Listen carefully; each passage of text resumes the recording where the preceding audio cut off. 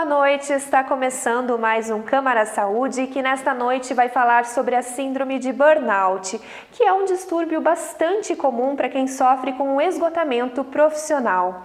E a minha convidada online de hoje é a professora Vanessa Risse, doutora em psicologia e pesquisadora da Faculdade IMED. Vanessa, seja bem-vinda à TV Câmara, dessa vez então aí de forma virtual. Obrigada, boa noite. Vanessa, eu quero iniciar então a nossa conversa explicando então para quem está em casa as diferenças então entre a síndrome de burnout e de outros problemas de saúde assim bastante comuns, como por exemplo a depressão. Certo. A primeira grande diferença da síndrome de burnout e outras afecções psíquicas é de que a síndrome de burnout é uma doença ocupacional. Ela está exclusivamente relacionada ao contexto de trabalho.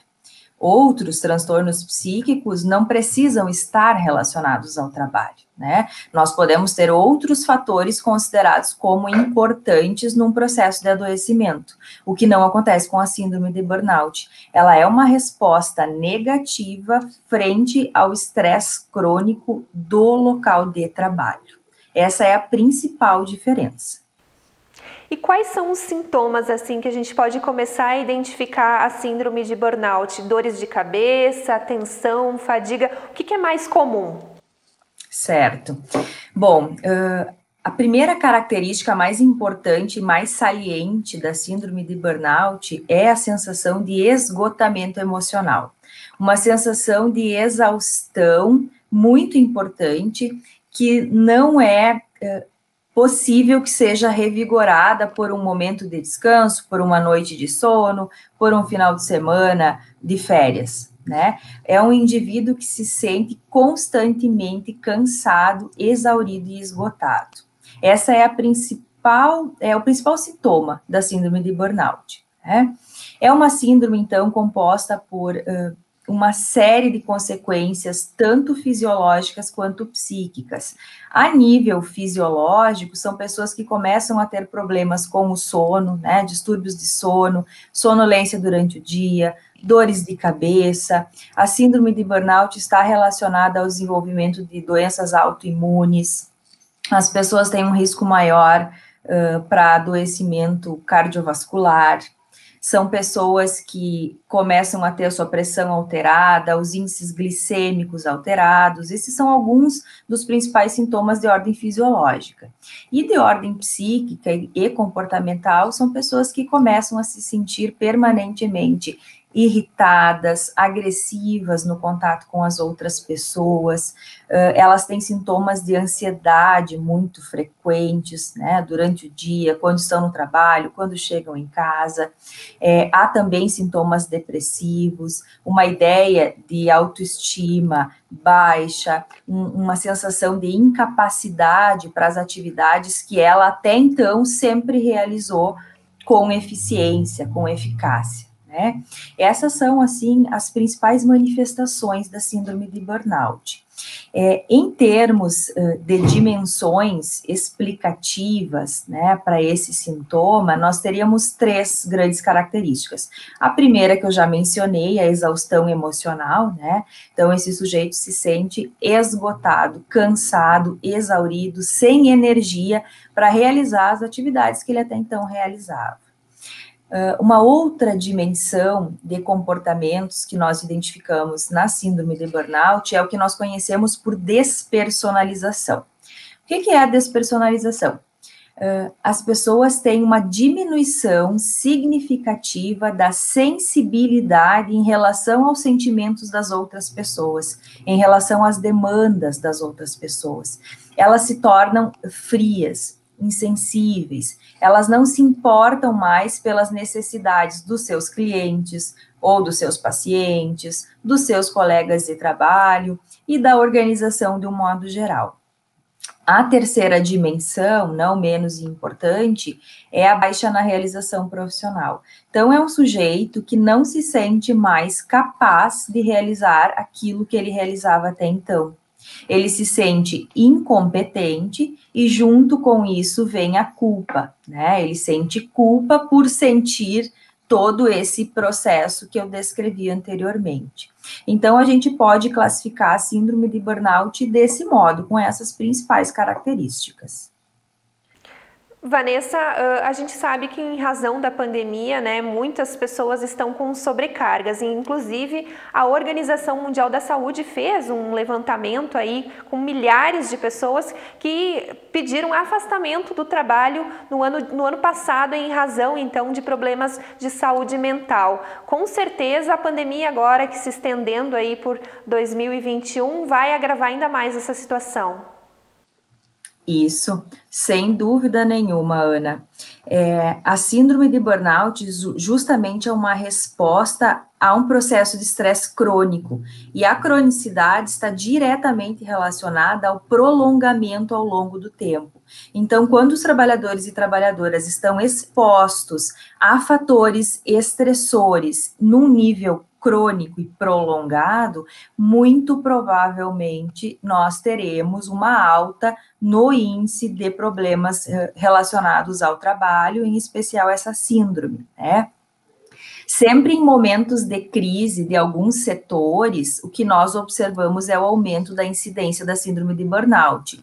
A pandemia deverá sim colaborar com o aumento da incidência de profissionais da área da saúde, profissionais da linha de frente, é, profissionais da área da educação que tiveram o seu, as suas condições de trabalho alteradas com uh, certo rigor, né, especialmente os que foram trabalhar com home office, com aulas remotas, né? Então, sempre em situações de crise de alguns setores, nós temos aqueles setores com aumento desse índice. É, um outro exemplo, né, para sairmos até da pandemia, porque às vezes as pessoas acham que, que, que só a pandemia que vai uh, trazer uma série de problemas. Uh, não sei se, se estão lembrados do momento em que nós tivemos uma crise no setor aéreo, no Brasil, é, alguns anos atrás. Então, profissionais que trabalhavam em aeroportos, especialmente controladores de voo, uh, foram uma categoria profissional que respondeu pelo aumento do índice de síndrome de burnout e, consequentemente, do aumento do afastamento no trabalho. Né? Então, sim, a pandemia ela, ela estará sim relacionada ao aumento da síndrome de burnout nesses profissionais. Realmente a situação ela está bastante conturbada, né? As famílias estão tendo que se organizar de diferentes formas para poder dar conta então do trabalho e das atividades domésticas, Vanessa. Mas qual é o momento então de a gente acender um alerta de que realmente se trata de da síndrome de burnout ou se é um estresse momentâneo que pode passar aí de repente até com uma atividade mais de lazer? Exato. É, é, justamente por aí, a partir da sua fala. É, a síndrome de burnout, ela não se caracteriza pela eventualidade da exposição ao fator estressor.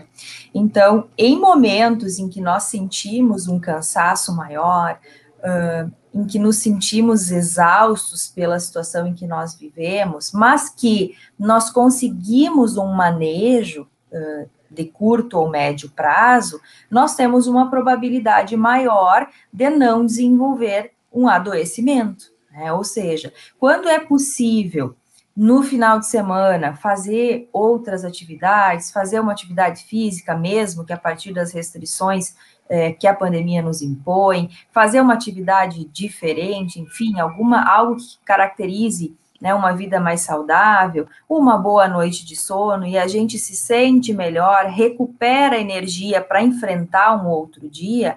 Então, nós não estamos falando da síndrome de burnout, nós estamos falando desses eventos do dia a dia que sim tem sido estressante para quase todas as pessoas. Agora, a síndrome de burnout é algo em que as semanas vão passando, os meses vão passando e não há o que aquele sujeito faça que minimize a sensação de exaustão. Pelo contrário, quanto mais ele tenta fazer alguma coisa, mais ele se sente exaurido, cansado, irritado. E aí as pessoas na sua volta começam a observar esse comportamento. Né?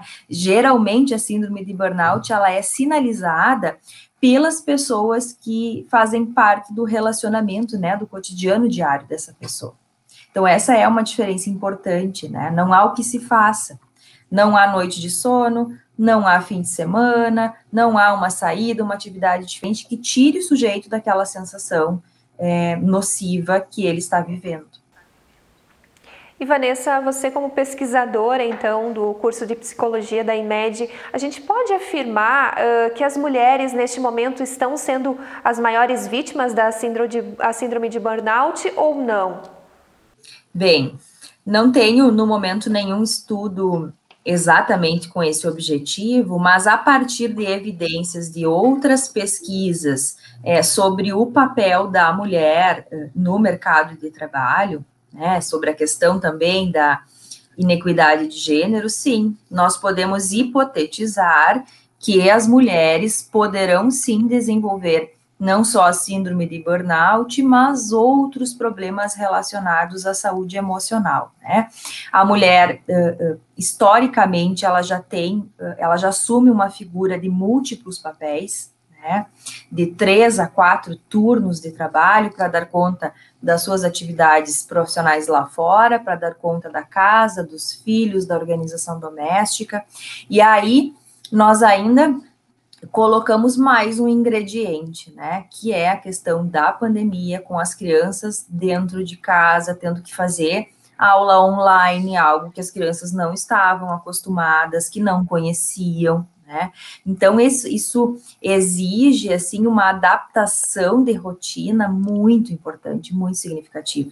Então sim, as mulheres elas correspondem a um grupo de risco para adoecimento psíquico a incluir a síndrome de burnout a partir da condição que a pandemia tem nos, nos colocado.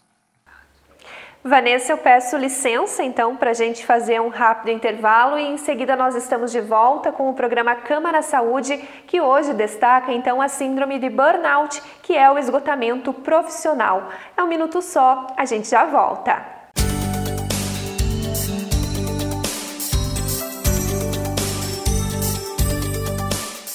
A Câmara de Vereadores de Passo Fundo está sempre ao lado da comunidade e, para manter esse compromisso, foi pioneira em implantar o sistema online para as reuniões e plenárias dos vereadores. Projetos importantes já foram votados, como a contratação de mais profissionais para a área de saúde e a aprovação da liberação de 3 milhões e 500 mil reais do orçamento do município para fazer frente ao coronavírus. Foi criado também um fórum permanente para debater sobre a Covid-19. Câmara de Vereadores, a casa dos grandes debates.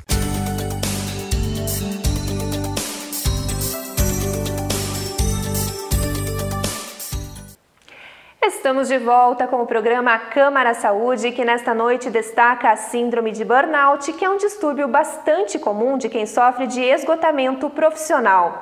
E a minha convidada é Vanessa Risse, doutora em psicologia do curso de psicologia da Faculdade IMED e também pesquisadora.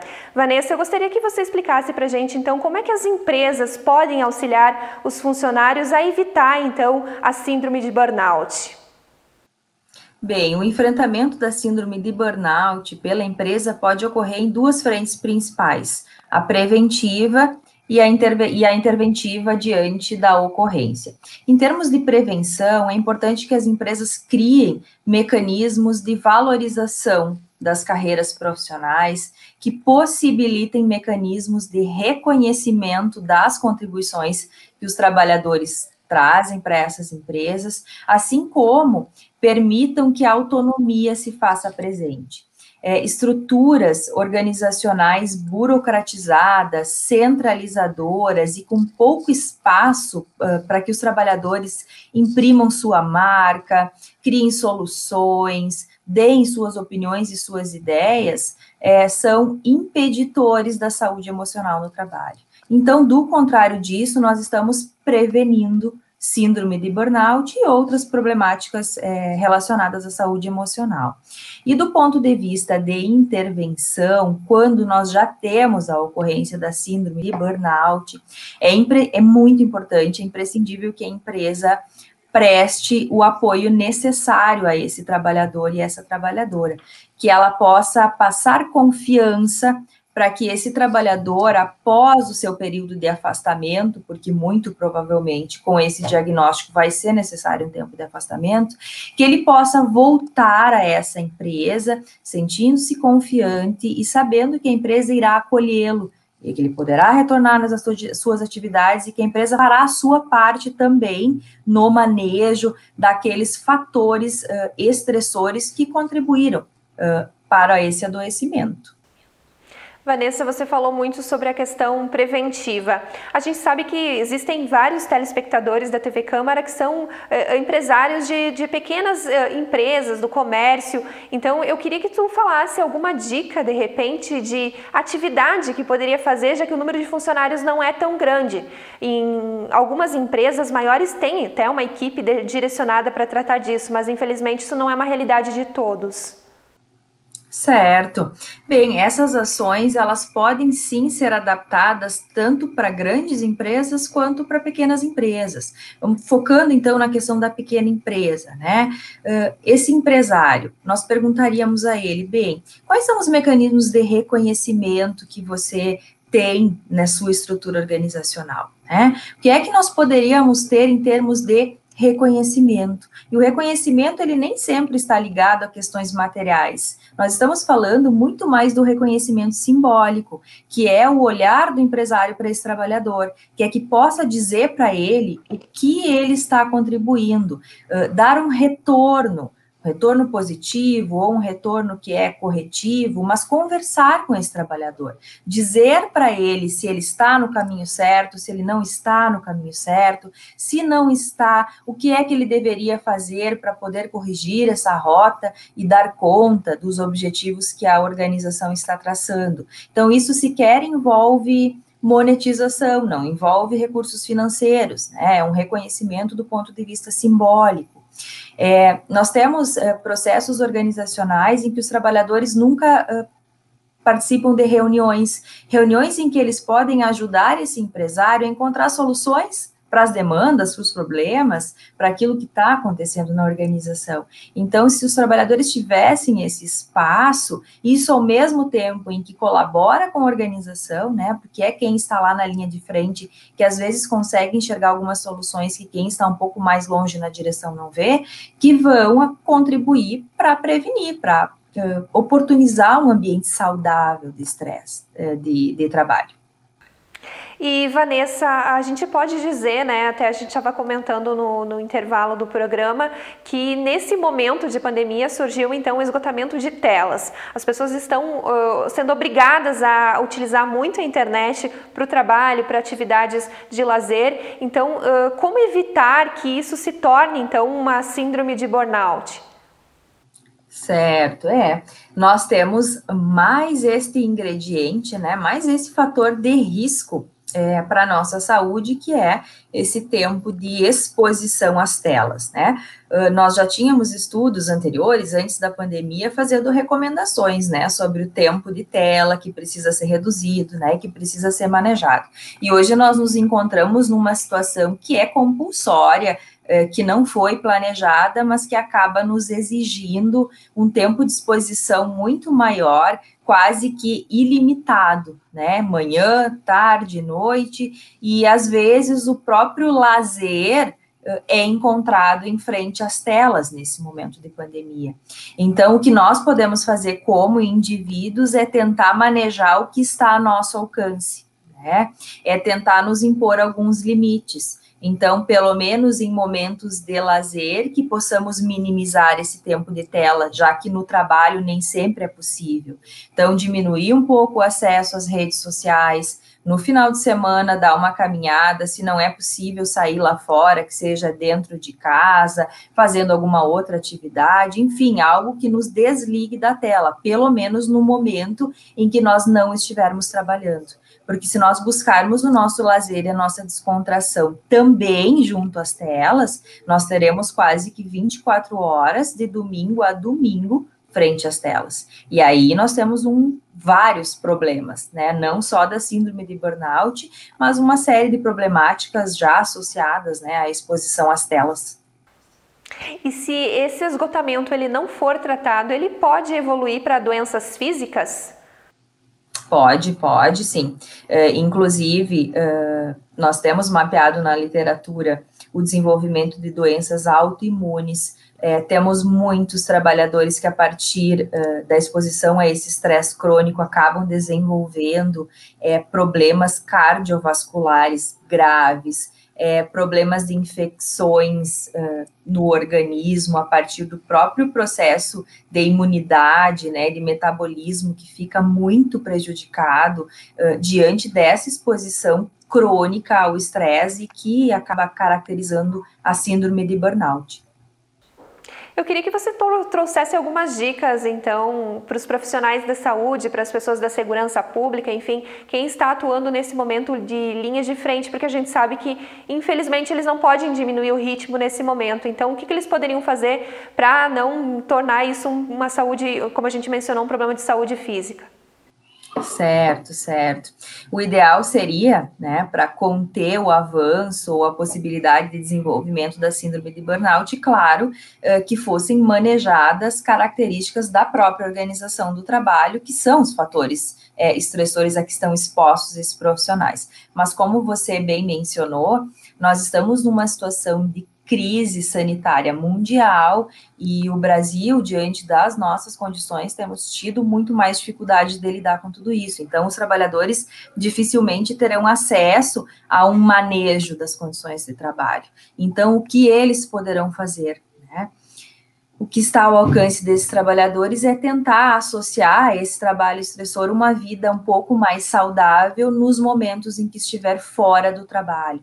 É importante que os profissionais mantenham uh, alimentação saudável, hidratação, é, que tentem ocupar uma parte do seu tempo ocioso, mesmo que seja pouco, que seja curto, com atividades que lhe deem prazer né, com alguma atividade de lazer, respirando um ar puro, enfim, enfim é, mesmo sabendo das dificuldades, né, nós não estamos negando né, toda a dificuldade, mas é importante tentar uh, manter um espaço nesse, nesse, nessa curta agenda para uma vida saudável, né, quando não se está no trabalho, já que lá não, no momento, está difícil de evitar, né.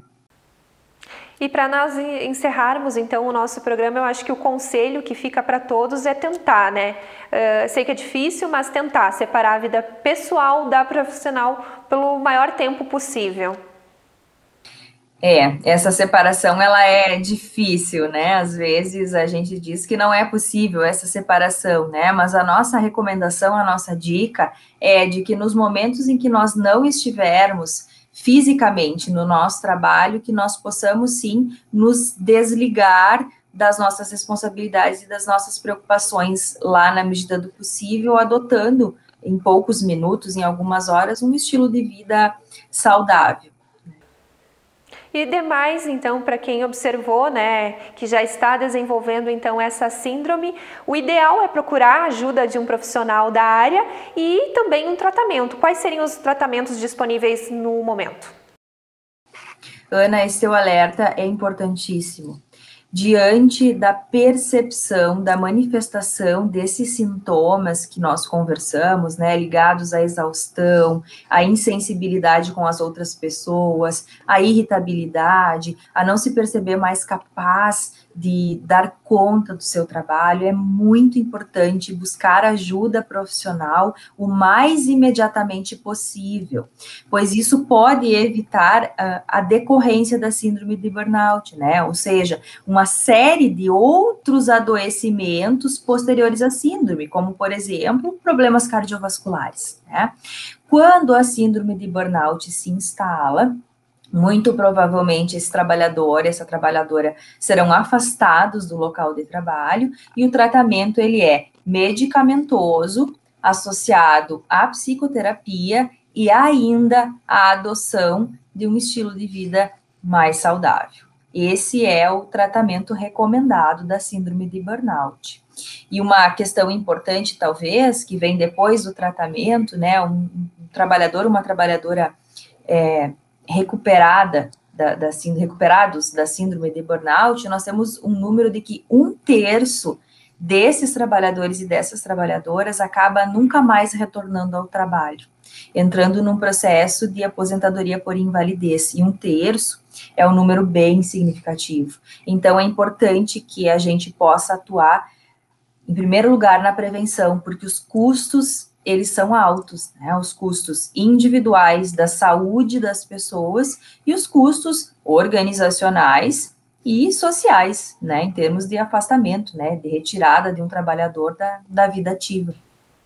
Vanessa, eu gostaria de agradecer mais uma vez a sua participação no nosso programa de hoje e espero que em breve, né, a vacina chegue a todos e que a gente possa se encontrar pessoalmente para um novo programa.